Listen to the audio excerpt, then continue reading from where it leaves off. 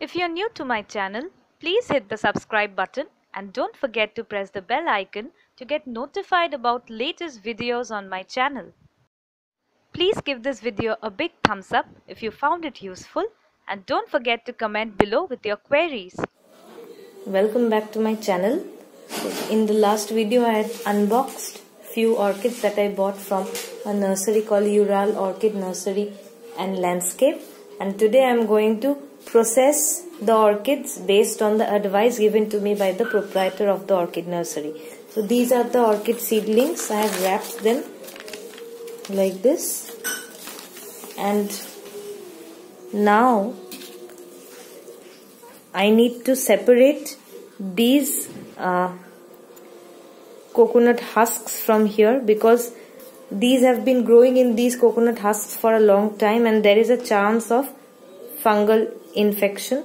Whenever you're dealing with orchids you need to keep a check on the fungal infections that might spread. So what I will do is I will open this bundle first. And since the coco chips are quite dry at present I will not try to remove them. If they come off naturally that's fine. But to ease the procedure what I will do is I will place these inside this particular container and I'll fill this with water. So I'll do the same for all the three orchids. All the three orchids are you know growing on this particular coco chips. So I'll not forcefully take them away from the roots like this. This is also wrapped using the orchid root only so I'll not uh, disturb the root division. I'll show you what I'll be doing. So I'll take some water. This is filtered water.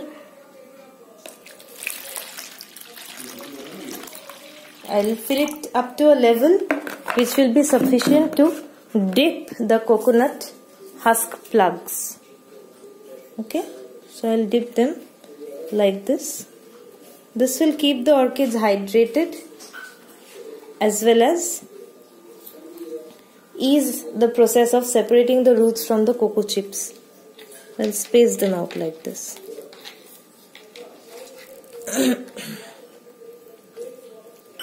you see the coco chips are already absorbing water. You can see air bubbles.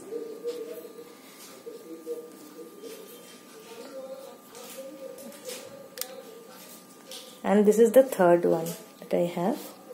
I'll slowly dip it in water and, and I'll keep these three dipped in water for say 3 to 4 hours and then I'll come back to you with the result